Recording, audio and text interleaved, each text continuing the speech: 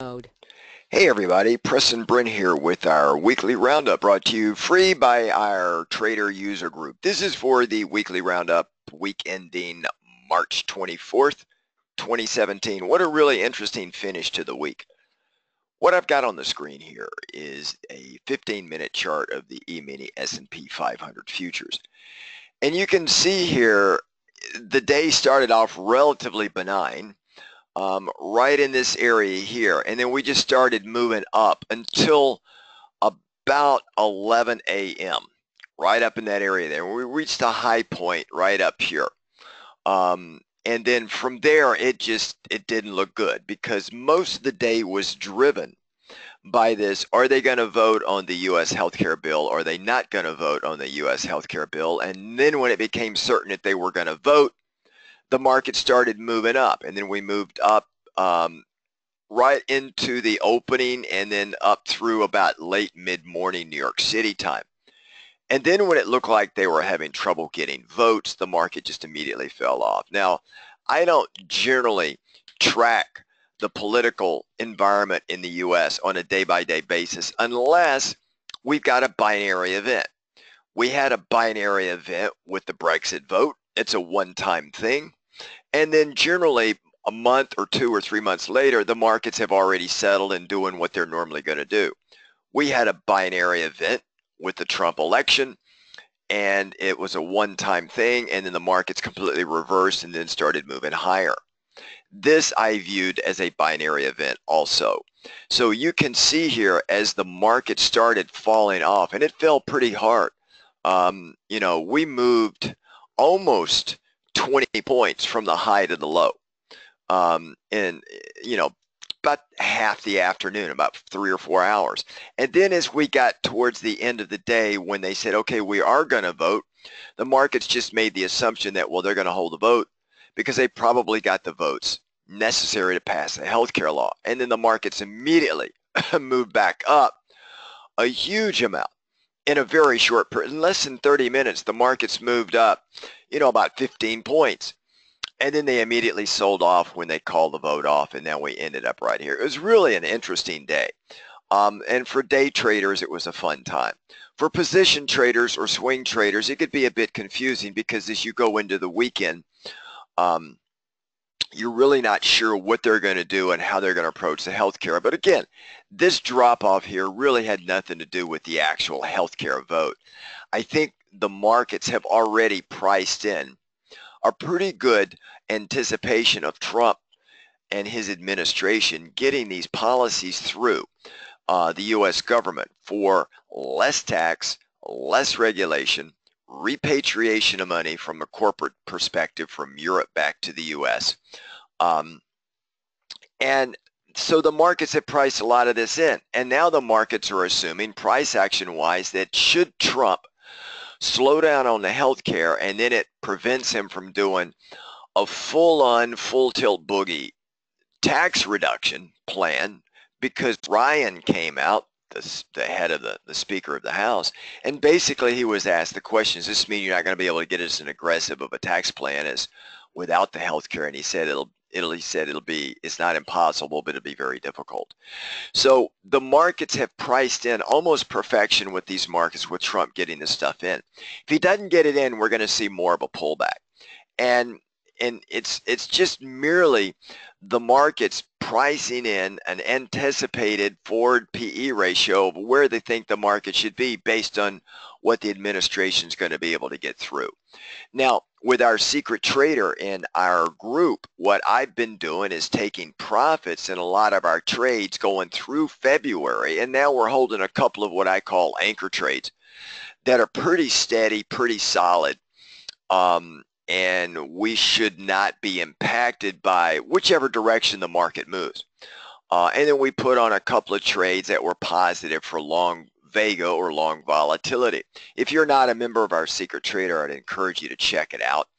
Also, our user group, which is our trader user group. Also, we're doing a number of things here um, from an educational perspective that I think is going to help a lot of our members out. But as you can see here, this was the reaction of the markets. Now, if I take it back, and by the way, you can see here on this 15-minute chart, you can see the price over the volume. So we had a big chunk of it here and we had a big chunk of it here. We kind of settled in right here, which is a key Fibonacci. It's a Fibonacci extension off prior pivot low and a prior pivot high.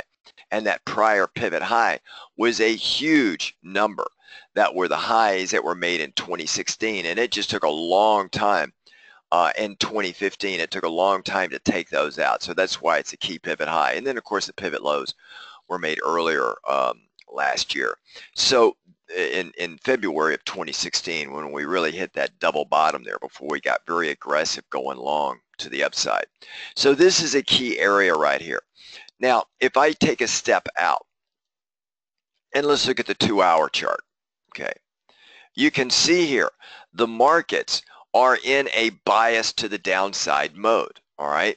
Um, we, we've basically come from roughly 2388 back on the 16th of March. Uh, and we've had a little bit of a test of the bottom here, uh, right here and right here. And it seems to be providing support. And we've got this pattern here on the MACD. Now, ideally, when we when we came up here and then came back down here, I would have liked to have seen the MACD come down and give us a bend and then move back up. That would give us what we call in our group a more of an ideal bud or a bullish divergence, right? We didn't get that. We've got this right here that gives us a more or less a consolidation pattern in the MACD. And granted, even though we were choppy here on this two-hour chart, it is nonetheless a consolidation pattern. And it's consolidating because the markets, quite frankly, don't know how to make this vote, and they don't know where they're going to next. Um, but I, I, can assure you that we're going to break out of this pattern, and we're going to break. Um, and if I were to just kind of put it back on again, we're going to break early next week, and the break is either going to go to the upside or the downside. I suspect the odds now favor a break to the downside. We'll see. Um, but you can see here, this green line is also an upsloping trend line. And we hit it just about on target and then we bounced higher. Okay. Again, this is a two-hour chart, so understand the time frame that I'm looking at. Now, if I take it out to a daily chart, and then let's do the exact same thing, but on the daily. And let me blow it up a little bit. And you'll see some of the resistance that we got in here at that price range here. You can see here that on this daily chart, uh, we came down and just nudged the upsloping trend line, that green line, and just slightly above the 50 EMA which is this red line right here. So we've got some nice support here at that level. I've said that this should probably hold us, but we've had a high, a lower high, and I want to see us come up and roll back over to get a lower high here. Because remember, you want two touches to define a trend line. So I would, I would move this like this, right? We've already got a low here and a lower low. So perhaps we could get this bull trap where it moves up here, does not take out that prior high, and then just rolls right back over and then just kind of kisses our upsloping trend line goodbye, comes down and tests. And remember, by that point in time, the 50 EMA will be pretty much flat, and then we're either going to hold or we're going down. Um, and I've said if this is the scenario, we're coming down and we're testing 2300, which has got an area of congruency with a Fibonacci extension, in this case the 1.5 extension off prior pivot highs and pivot lows, and then a key touch point here, as well as the psychological number of 2300.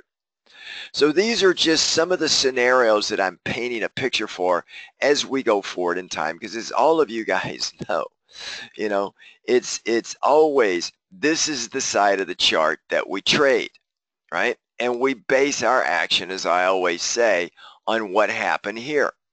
And if you do not understand how to fully read a chart, you're always going to be guessing here and you're not going to be able to develop an edge. Okay. And all of our trades in our user group about developing an edge and our trade expectancy is positives because we want to over the next 5, 10, 20,000 trades over the next 5, 10, 20 years to see our equity line our equity curve continue to go higher and higher. So we're making money on top of money. So this is what I'm looking at right here as a possible thing. If this holds up, we'll probably move up. And then the next thing I'm going to watch is this right here, which is sitting roughly at 23.90. If we do not take that out, we're probably going to roll over and that will then give us our lower pivot high right there. All right. So that gives us a high, a lower high, and a lower high, which will then give us two touches, right? Which is what I want. The first one never counts. That's the origination of the line. And then we've got this one here and this one there. That would be two there. So now we've got this trend line going on, or this channel rather going on. And if we roll back down, I would expect us to pass through here and come where somewhere down in this area down here. And we could just blow right through it and hit 2300, somewhere in that area there. Okay. Um, so and and I promise you that if we do that, if this scenario does play out next week, you're going to see all the knuckleheads on TV, the TV talking heads and all the business shows saying, "Oh, is the bull market over? Is Trump done? One and done with the health care? We're going down. We're going down." And I believe that the administration's got a few tricks up their sleeves. Um, I think down in this area here, I would be more of a happy buyer than a seller. We are still in a buy on the dip environment. That means as the markets go up and then it dips down, you want to buy here as it rolls back up, right? And then as it comes down here, you want to buy as it rolls back up. And that gives you your buying, your timing of your buys are in the lower part of the channel as opposed to sell on the rally where you're selling at the upper part of the channel, but the channel is sloping down. There's a little bit of art and some science in being able to make these determinations, and that's kind of some of the stuff we go through in our in our user group. So this is the E-mini S&P 500 futures on the daily chart. Now, if we look at the weakest chart of the day, or let's say the weakest chart period, that would be the S and or the Russell. Now the Russell, as you can see here, we made 2017 lows on the 22nd of March, okay? And it's under the same scenario here, uh, meaning we've got the original high point, we've got a lower high, and I don't know if we've yet formed another high here. Maybe interim, we run back up, move back up the 27 open price, because right now we're in the red for the year for the Russell. So it is the worst performer for the day, okay? Um, and it is the worst performer. So we may come up here and then we may roll back over again, and then that would give us our first and then second lower high, which then allows us to start to connect the dots and say now a channel is being formed to the downside, and we can expect coming in and making new lows here okay? The other thing is from that low to that low there, there is absolutely no bud, zero, or no bullish divergence. That would suggest, again, that any upward movement is probably going to be sold off and driving us down in the Russell. Now, this is a daily chart. Always keep in mind the time frame that you're using, okay? So this this is not a very good it's it's just showing and remember the Russell is small cap and mid cap so it's not showing up very well if we look at the strongest index, uh, that would be NASDAQ futures or NASDAQ. And if you look at NASDAQ here, you can see here on this chart, we're just now starting to just pull back a little bit. But there are a lot of individual uh, price levels here that are going to serve as support along with our 50 EMA. So as long as NASDAQ stays relatively strong, even if the Russell pulls back and the E-minis, the S&P 5, the, the, the S&P 500 pull back or or uh, the Dow pulls back a little bit, as long as the Russell stays strong, it'll have a tendency to hold everything else up. However, another thing to watch for, if the Russell gives it up and we cut the 50 EMA, then we're going to be giving it up big time in all the other indexes, right? And so these are just some of the things that I'm going to be watching very carefully uh, as far as the indexes are concerned. The other thing we want to watch is volatility. If we look at the April vol futures, right, it closed down just a little bit on that last move up or that last move higher. But we are still off the lows here when we rolled to the April, um, uh, which is now the new front month vol futures. And we're up to about almost 14. If we look at the VIX, right, the VIX is, you know, about 13 right? You can see this spike and now it came way back down. This tells me that the markets still don't have a lot of concern. Remember, for a very short period of time, we went into a backwardation in the volatility market, which meant the VIX, which is kind of the spot price of, of volatility, is higher than the front month vol futures. But it didn't last very long because you could see this candlestick where the VIX, uh, the VIX moved all the way up here, right? I mean, it just it just shot up and then it rolled right back over and finished right in almost where it opened. Right now we're in the upper part of this green zone, and you may say, "What is this green zone?" But this green zone, uh, if we just step out a little bit, is basically some of the ways that we look at our strategies uh, in the market and what do we want to do from an option perspective. Remember, you've got to go from green, yellow, um, I guess that's purple or pink, light red, and then deep red, and then all black, which is black swan. So volatility has slowly come up just a little bit, but we're still in the green and we can stay in the green for quite some time. Not until the VIX gets up over 15, 16 will I start to see the market expecting a bigger dip than you would expect, right? Down to the 2300, possibly down to the 2275 area. So watch volatility very closely. Now again, we put a, a, an option strategy on that plays into uh, it's got long vega in it, so it's going to work. If, if we get a little bit more of a pullback, it'll work out nicely for us. Um, and then, of course, uh, let's watch the key to uh, uh, help watch those areas, those asset classes that you you know help you determine risk on and risk off. And one of them is going to be the bond market. And the bond market finished up today. Okay, the bond market actually cleared the opening price of 26 or 2017, and we're in the green for the year for the bonds. We came down, almost hit my target. If you guys recall, my target was right in this area here, right around 145. Okay, we came down and hit 145.25. So we came pretty darn close, but we came up, moved above the 2017 open price. We moved above the 50 EMA. And I just don't see us coming up and taking that out. It's a good possibility bonds can move up there. And if they do, then I'm going to be a happy camper because I'm going to be looking at picking up shorts when the bond market rolls over. But if we get up here, that means the equity market, especially the S&P, is back down around the 2300 area again. Okay, so again, let's watch the bond market. And the other one, of course, is the currencies, right? Um, the dollar has traditionally been uh, very weak. And you would think, well, why is the dollar weak? Uh, when they were Yellen is talking about, aka our Aunt B, is talking about dealing up two more rate hikes this year after the one they just did um, a, few, a week or two ago. Well, because you've got other currencies to consider. And the dollar is really not a single currency, it's a dollar index.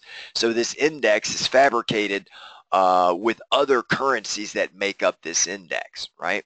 So, and a big player in this is the euro. The euro makes up about 57, 58% of the dollar index. So you can generally say if you're long the euro, you're going to be short the dollar. And if you're long the dollar, you're going to be short the euro. And then, of course, you got the pound and and, and the Swiss franc and the yen also kind of rounding out some of the, the value of the index of the dollar. But you can see here the dollar is just coming down. I'm going to watch for the, the 200 EMA. I, I believe Euro and all of Europe equities are going to do better this year than the U.S. Um, and I think the dollar is going to underperform the euro this year, and there's going to be some good trades for us to take in that. Um, I've been talking to our members about that. Uh, and then, of course, if you look at the euro, it is going to be the exact mirror opposite of this. You can see here the euro, rather than dipping up and rolling down, this dipped down and rolled up. Now, what we could have here is what kind of like a hyperextended cup and handle, where you go down, you go up, you come down, and then we're off to the races like this, right? We had a little bit of a difficulty right here. That was a 2016 open price, but it also, as you can see, is a huge resistance area for the euro. Okay. Now the other thing we can also label on this right here, let me just kind of take everything off my screen so to help you see a little bit better. Uh, just like this. I could come in here and say, all right, well tell me if you recognize this pattern, right? That is clearly a resistance point, a big one for the euro. Then you got this guy here, you got that guy there, and you got that guy there. That's the left shoulder. This is the head. This is the right shoulder right? If we break that, this is called the neckline, and it's a flat neckline. Then what you would do is you take the measuring objective, uh, or the distance from there to there, and then just project it up here like this, and that gives us one, two, three, four, five, six, seven, eight. So let's go uh, two, four, six, eight. That takes the euro up to about a buck 13. All right, now it wouldn't be a straight shot, but it would take us right up into that area there. So if we break, and again, we also got the 200 EMA there as well. We got an upward sloping um, um, 50 EMA, the 200 EMA is now flat. That's a good sign. That suggests closure between the two, which would be bullish longer term. Uh, and the measuring objective on this head and shoulders, should we break out? Now remember, a head and shoulders has got a trigger, which means we got to break out. And then more than 55% of the time, you'll have a retest of that neckline and then sometimes it'll come back inside the neckline and it kind of discounts more or less the head and shoulders. But if it does a retest and moves higher or it just moves higher, period, this will be our new measured objective. We're gonna we're gonna have some fun with trades in this one um, this year. I hope it holds off through the end of the summer because I'm going to spend about two or three months on tours and having some fun across Europe. So I want my dollar to be strong while I'm over there. But you know, you never know. But looking at this pattern, that's what it's calling out here, right? So there's going to be some trades in that as well that we're going to be exploring in our user group and in our secret trader room. Um, metals, gold. Gold, eh, what are you going to say with gold? Um, we're in this consolidation pattern, all right, um, like this. And I've said we entered the year right there, 2017. So we're still positive for the year. And I said we are going to finish the year higher than where we started. Well, that may be an easy one to call, but and that because that would mean gold would have to finish above 1160. But I think even from this point, gold is going to be higher uh, than where we started. But it's just going to be very choppy right? And you can see we've cleared the hurdle here. We actually fell through the 50 and the 200 EMA, we settled right in at kind of where I had said we would probably settle in right around 1200 and now we moved up again. If we fail at this level and we come back down here and then we could be in one of these ranges for a while until we break up or down. I think the odds would favor a break to the upside. However, Gold is one of those uh, asset classes that if we break to the downside, it tends to trade technicals very well, which means we'll come down and test this um, 1179 area, and then we're going to be freight training it down to about 1130. All right. Um, and then before we start our next build to the upside. So that's kind of where I see gold and silver. You know, silver is very much the same. Okay. So that's kind of where we're sitting with silver. Although I think there's a little bit more bullishness in silver at this time than gold.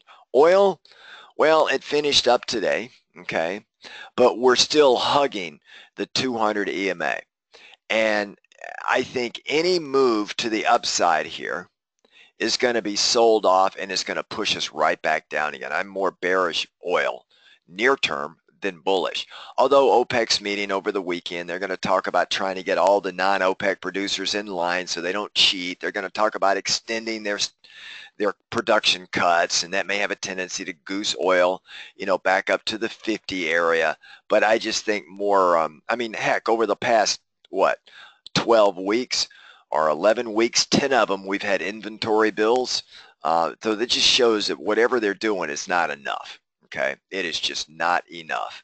So we've got a trade going on in oil, and I'm looking to take this off in our secret trader on Monday or Tuesday next week. Hopefully um, uh, things will be relatively benign out of that OPEC meeting. We should be able to uh, draw some nice profits. If it really starts to scoot to the upside after the OPEC meeting, then we can make a couple adjustments and we'll end up holding a little bit longer. But our position structure is fairly good in that trade as well. Um, and then um, agriculture, meats, and softs. We're doing some trades in uh, that I'm uh, working on. We've got some successful trades. Uh, we got a couple of setups that we're watching very closely as well that should be a lot of fun for us to trade. So folks, I want to, uh, members, I will see you Sunday night. I'm heading down to Southern Florida for some fun uh, and some seminars and just working with some folks down there in the Miami, Fort Lauderdale area. Otherwise, I will uh, see our members um, and our Secret Trader members as well Sunday night for our weekly market watch. Have a great weekend, everybody, and I will see you guys this Sunday night. Ciao, folks.